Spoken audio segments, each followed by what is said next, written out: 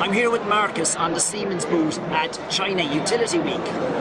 Markus, you've spent the last four years working in China heading up Siemens Energy Management Division.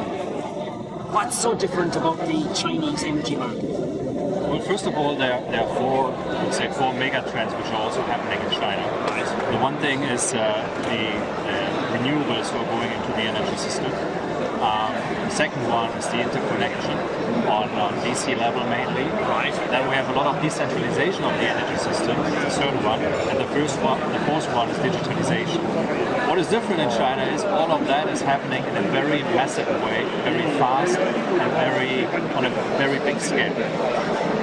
Um, and this morning we saw some of the presentations about what's going on with uh, State Grid, Southern Grid. As you say, the scale is just mind-blowing. Now, on your presentation this morning, you mentioned about um, the, the transmission systems. What I understand here is there's a lot more DC transmission here, and and again at a huge scale.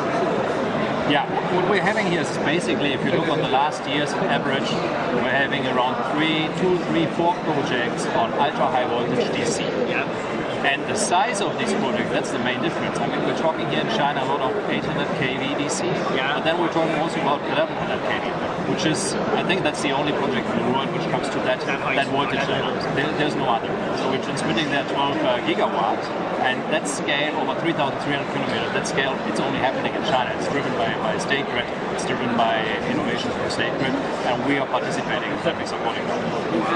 Now, you also mentioned this morning in your presentation, in Europe, there's a, a huge amount of work being done joining all of the transmission systems, what ENTSO-E is uh, representing with all the TSOs in Europe. That's starting now in China as well, outside China.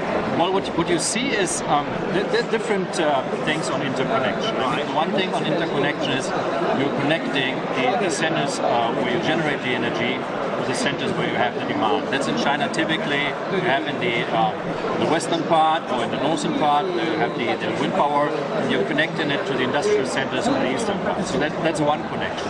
The other connection, which is pretty much driven out of China, is also the interconnection, which goes over the borders of the country, so over national borders and even over continents. So there's an initiative from State Grid actually, um, which is called, uh, founded by State Grid, it's called GEIDCO. So it's a global energy interconnection, we're exactly talking with them, us, uh, industrial suppliers in the energy world, banks, financing institutes, but also the, the transmission system operator. We're talking about how standards should look like that you can interconnect in the future the different grids of countries where it makes sense. So, so kind of part of the Belt and Yeah. Road spreading out. Right, right, exactly.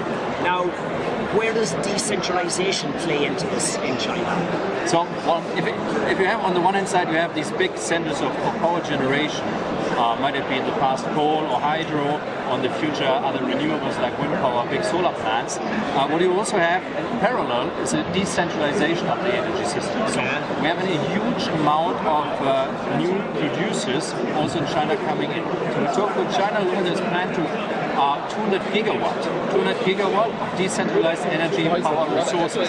And that's in a lot of cases PV. Uh, it's in a lot of cases uh, smaller wind farms also, but it's also some gas engines, etc. It's also hydrogen. So 200 gigawatt coming in a decentralized energy system, which have to be integrated then not on the transmission level, but on the distribution level, which is also a big challenge for the energy system. And that is then where the demand for digitalization comes in. And one of the, the trends I just saw walking around here, we talk about moving to the cloud, and, and it is changing in Western Europe and North America. Everything here is cloud.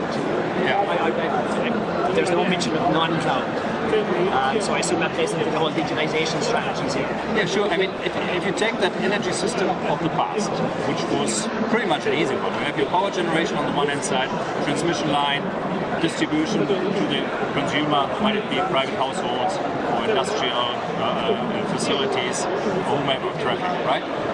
That system is not existing anymore. When we talk about this decentralization, when we talk about renewables, which are not producing a constant power flow, talk about the households who are producing, which are not anymore only consumers, but prosumers, as we call it, industrial complexes, China, industrial parks, where we have big installations of PV, big installations of uh, gas engines supporting that.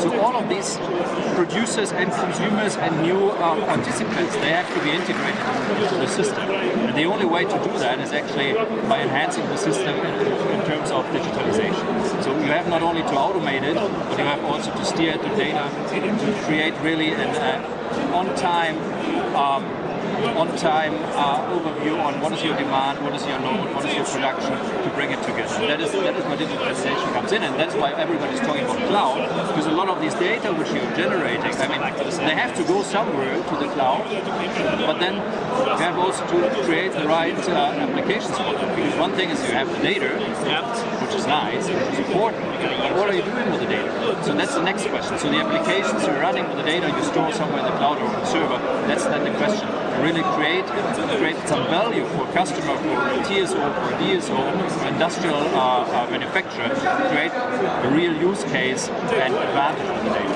And, and as you said at the start, the scale here is just phenomenal. That's right.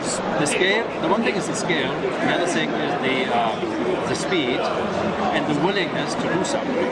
I mean, we talk a lot about these plans which we are seeing, but you always can trust if there's a plan in China, it will also be executed. So it will happen. That, is true. And the last thing, in Siemens recently, you guys went through the whole uh, reorganization, aligning the business for growth. How does the smart infrastructure uh, Siemens alignment line up with China? So if you take what I, what I was saying before, if we take that part of decentralization, if we take that part of uh, the energy, PV rooftop, uh, industrial complexes, campuses, who are playing a much more important role inside of the distribution. But they are part of the distribution in the, in the future because they are not only consuming like in the past, Yep. but they're also producing. So they will become part of the distribution grid of the smart grid. So that's where we're bringing buildings, campuses, industrial applications um, with the smart grid part of the energy and the distribution net together. So that, that, that's the idea of the smart infrastructure. So smart buildings plus smart energy is a smart grid. Or the other way around, smart buildings plus smart grid is smart energy, however you want to take that. Uh, it's about breaking down the traditional silos Right. because that's the only Right. way you're going to get the Exactly. get all this to work. Wow. Hey, I wish you well. Thank you. Thanks Very very excited. Thank you.